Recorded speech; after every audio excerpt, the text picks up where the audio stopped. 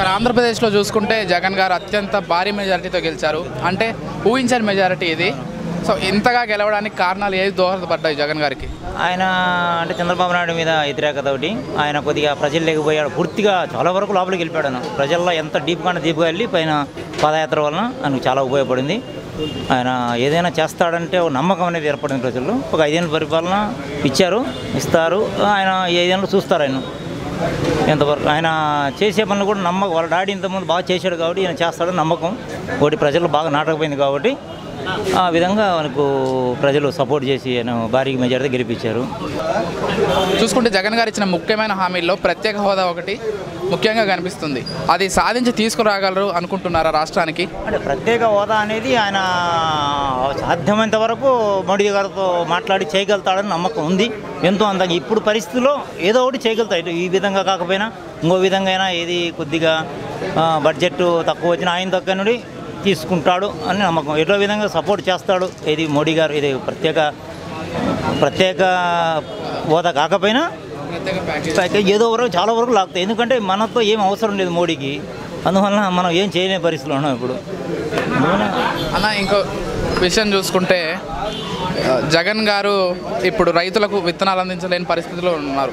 అంటే రైతులు చాలామంది కామెంట్ చేస్తున్నారు. అదేవిధంగా చంద్రబాబు గారు చూసుకుంటే ఏమన్నారంటే పొలాల్లో ఉండాల్సిన రైతుల్ని రోడ్డు మీదకి లాగాడు అని కామెంట్ చేస్తున్నారు చంద్రబాబు. అవన్నీ కరెక్టే అంటారా? అది కరెక్ట్ కాదు. ఈయన ఎందుకు వచ్చాడు? ఒక ఒక కనీసం ఉన్న ఒక ఆరు నెలలో వన్ ఇయర్లో ఇవ్వాలా చేస్తున్నాడు సాధ్యం వరకు. ఇప్పుడు ఇమీడియట్ నలభై రోజుల్లో ఈ కార్యక్రమం చేయాలంటే చాలా కష్టం అయింది కూడా. ఇప్పుడు వచ్చాడు చేయగలుగుతాడు నమ్మకంతో ప్రజలు ఉన్నారు చేస్తాడు అనుకుంటే మాకు కూడా నమ్మకం ఉంది.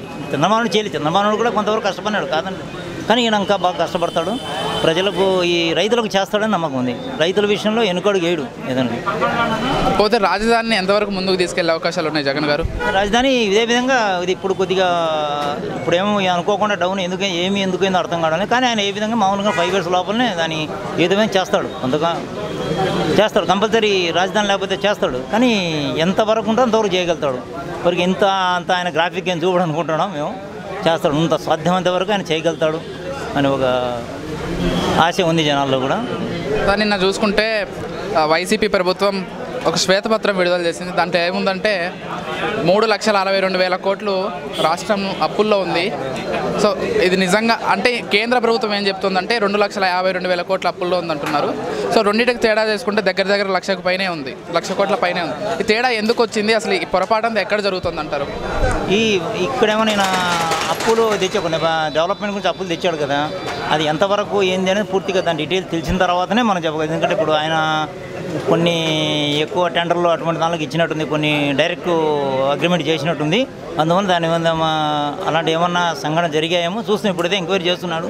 చూద్దాం ఏ విధంగా వచ్చిందో అనేది ఇప్పుడు ఆయన కొత్తగా వచ్చాడు కాబట్టి మనం కూడా దాని మీదే పూర్తిగా అవగాహన ఉండకపోవచ్చు. అది లక్ష ముప్పై కోట్లు ఏదైనా బడ్జెట్లో లో బడ్జెట్ ఉంది కాబట్టి ఏదో విధంగా ఆయన చేయగలుగుతాడు. ఇప్పుడు ఉన్నాయి. దాని మీద ఎంక్వైరీ చేసి ఏదన్నా ఉంటే సాధ్యం దిగు లేదా సెంటర్లను కూడా తెచ్చుకుంటారు ఆయన. తప్పదు. అప్పులు ఉన్నప్పుడు దాన్ని తప్పదు. ఏ ప్రభుత్వం అయినా చేయాల్సినదే. ఇంకో విషయం చూసుకుంటే బీజేపీ వాళ్ళు ఏమంటున్నారంటే రెండు తెలుగు రాష్ట్రాలను పాగా వేస్తామంటున్నారు. అది సాధ్యం అవుతుందా అసలు? అది కొంతవరకు అవుతుంది. కొంతవరకు అంటే ఇంకా ఒక టైం పడుతుంది. ఒక ఐదేళ్ళు పదేళ్ళు పట్టవచ్చేమో. కానీ ఆంధ్రప్రదేశ్లో సాధ్యం అంటారు ప్రత్యేక హోదా ఇవ్వడం లేదు వాళ్ళు ఇప్పటికే.